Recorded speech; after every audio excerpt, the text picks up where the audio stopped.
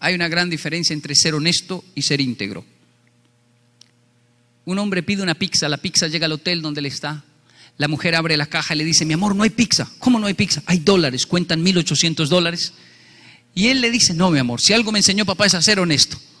Ella le da un beso y le dice, mi amor, pero la pizza costó 17, tenemos 1.800 dólares. No, no, no, vamos a la Y él va decidido a entregar la caja. Llega a la pizzería y la entrega y ella se pone brava, usted es muy tonto.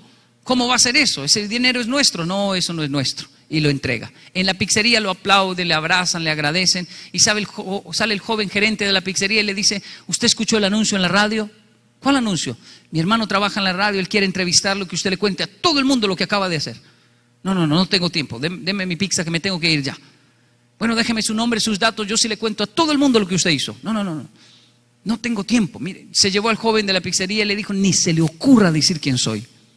Pero ¿por qué si lo que usted hizo es loable? Sí, me gustaría salir en la radio con su hermano y contarle a todo el mundo que entregué la caja con los dólares, pero no puedo. ¿Pero por qué no puede? Porque la mujer que está conmigo no es mi esposa. ¿Cómo voy a salir en la radio diciendo que pedí una pizza, que estaba en un hotel? No, usted está loco. Deme mi pizza que me tengo que ir ya. ese otro cuento. Y salió y se fue. Hago una pregunta al auditorio. ¿Era un hombre honesto, sí o no? Sí, entregó la caja.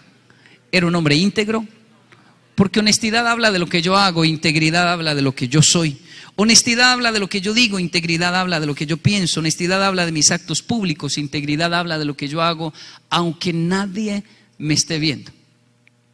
La honestidad es buena, pero necesitamos con urgencia en Latinoamérica una juventud, unos nuevos líderes en integridad que entiendan que eso sí, que vale la pena. Tal vez no a corto plazo, pero a largo plazo sí.